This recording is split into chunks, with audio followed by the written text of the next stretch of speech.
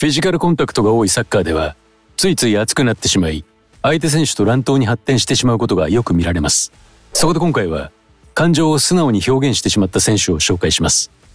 乱闘のイメージがないあの元日本代表レジェンドや J リーグで点を取りまくったあの選手も紹介しているのでぜひ最後までお楽しみください。この名前を知らないサッカーファンはもはやいないと言っても過言ではありません。現役時代からその熱いプレースタイルと甘いマスクに多くのファン特に女性ファンがたくさんいました。また現役時代から香水などのコスメブランドをプロデュースなどサッカー選手らしからぬ活躍を見せています。牧野は相手選手との競り合いに勝つと相手の目の前でガッツポーズをするなど現役時代は闘志むき出しの熱いプレーを繰り広げていました。キャリア晩年に差し掛かった2021年3月27日のルヴァンカップ。浦和レッズ対柏レイソルの一戦で牧野は次世代を担うフォワードと対戦することになります。そのフォワードは柏レイソルの司法細谷真央です。2024年のアジアカップ日本代表にも選出されている細谷は当時19歳ながらこのルヴァンカップで牧野をブチギレさせます。互いにスタメンだったこの試合ディフェンスの牧野とフォワードの細谷はもちろんマッチアップします。そこで火がついたのは牧野。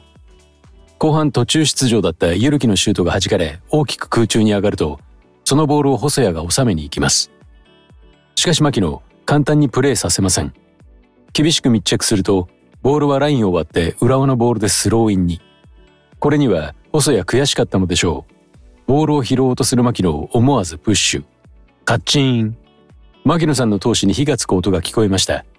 牧野さんすぐさま反撃です。細谷の首根っこをつかみ、激近の距離で一言浴びせました。何を言ったか真相はわかりませんが、何しとんじゃゴラー。と牧野の出身であるバリッバリの広島弁で落とした可能性もあります。広島弁にビビったのか、押し問答の後、細谷はおとなしくピッチに戻っていきました。細谷にとって相手が悪かったのかもしれませんね。しかし19歳ながら牧野さんに突っかかる度胸も大したものです。そんな牧野さんも現在は現役を退き、2024シーズンから品川 CC という社会人サッカーチームの監督を務めることが決定しています。監督としても闘志むき出しの熱い指導になりそうですね。要注目です。大久保嘉人はすでに現役を退いていますが、現役時代は J1 リーグ3年連続得点王や J1 最多得点記録191ゴールなど輝かしい記録を持っている J リーグが誇るスーパースターです。一方で通算のレッドカードは J リーグ日本人ワーストの12枚。イエローカードは J1 通算ワースト記録の104枚というこれまたアンタッチャブルな記録を持った選手です。そんな大久保、J リーグでは乱闘のオンパレードです。探せば山ほど出てきますが、大久保の乱闘シーンで必ず話題に上がるのが互いに日本代表に上り詰めたガンバ大阪の宇佐美隆とのバトルです2016年4月29日吹田スタジアムで行われた J1 リーグ第9節。ガンバ大阪対川崎フロンターレの一戦でバトルが勃発しました。前半から大久保と宇佐美は互いにやり合います。前半の27分ボールを持っていた大久保に対して宇佐美は後ろからチャージ。これで大久保に1ポイント貯まりました。続く39分、そのポイントが宇佐美に大還元されることになります。ボールの競り合いになったところで、大久保は相手が宇佐美というのを間違いなく知っていたでしょう。肘打ちをお見舞いします。大久保のあまりの大サービスに宇佐美は顎から出血。これが本当の出血大サービスでしょうか。思わずピッチに倒れ込む宇佐美。その後大久保に何すんだよと怒鳴りますが、カードホルダーの大久保、お茶の子さいさいです。点取ってから言えよそれでも日本代表かと一周。慣れたもんです。そこから両チームは小競り合いに発展。大久保はこのバトルにも試合にも勝利。ガンバは宇佐美も負け、チームも負けと実質2敗したようなものでしょうか。両者これくらい熱くチームを背負ってバトルしていると、サポーターも応援しがいもあります。大久保は現役引退後はその荒々しさは鳴りを潜め、バラエティ番組の出演、お笑い番組ではクセスゴネタを披露するなど今後の活躍にも目が離せません J リーグを渡り歩いてきたこの男は現在所属している愛媛 FC が2023年の J3 リーグを優勝したことによってサンフレッチェ広島時代に成し遂げた J2、J1 優勝を合わせて史上3人目の J リーグ全カテゴリーでタイトルを獲得しました。浦和レッズ在籍時にはルヴァンカップ天皇杯アジアチャンピオンズリーグも優勝していてまさに優勝請負人実力もあり運も持ち合わせている森脇は勝利への執念がとにかくすごいですこの執念はいい方向に進む時もあれば変な方向に進んでしまう時もあります。それは2014年9月7日ナビスコカップ準々決勝第2戦浦和レッズ対サンフレッチェ広島の試合で事件が起きました。第1戦を引き分けで迎えたこの試合両者勝利を狙い前半から試合が動きます。35分浦和は阿部勇樹のゴールで先制すると直後に広島は野津田学人のゴールで同点。48分に広島佐藤久人に勝ち越しゴールを許すと71分に浦和は牧野さんが同点ゴールを決め再び同点。しかしこのままでは2戦合計スコアで敗北が決定してしまうため浦和レッズのイレブンには焦りが見え始めます。そして同点のまま迎えた後半のアディショナルタイム。セーフティーにコーナーフラッグ付近でボールキープをする広島の高萩に対してボールを奪うべくチャージすると高萩はチャージなのか森脇の熱さでなのか分かりませんがピッチに倒れてしまいます。そしてこのプレーは森脇のファールの判定に腹心が下したファール判定にぶち切れた森脇は腹心に詰め寄り誘ってんじゃんわかるわかると腹心に対して猛抗議。結果としてこの抗議は実ることなくそのまま試合終了。広島の勝利よりも森脇の熱さのイメージが強く残った一戦でした。後に森脇この時に誕生した代名詞誘ってんじゃんをフル活用していて自身の YouTube チャンネルも森脇亮太の誘ってんじゃん TV と命名。また愛媛 FC では森脇亮太の誘ってんじゃんシートと題しホームゲームの際は毎試合招待する企画をする成人でもあります。今シーズンは J2 で戦う森脇亮太。その熱いプレーで多くの愛媛サポーターをスタジアムに誘えるといいですね。23年もの長いプロキャリアの幕を閉じた元ガチャピン日本代表遠藤康人普段から冷静沈着なイメージがあり乱闘のイメージとはかけ離れているヤットさんですがあわや乱闘となるようなプレーがありましたそれは2015年5月2日の浦和レッズ対ガンバ大阪の一戦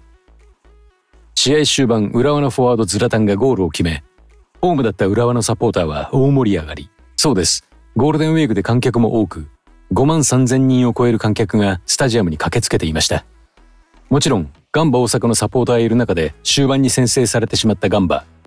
しかし、浦和の巧みな試合コントロールでボールキープに入ります。そしてその瞬間を迎えます。浦和のミッドフィルダー梅崎がコーナー付近でボールキープに入ります。ボールを奪えなければガンバは負け確定。そんな状況に負けたらサポーターも不安よな。やっと動きます。と言わんばかりの猛チャージ。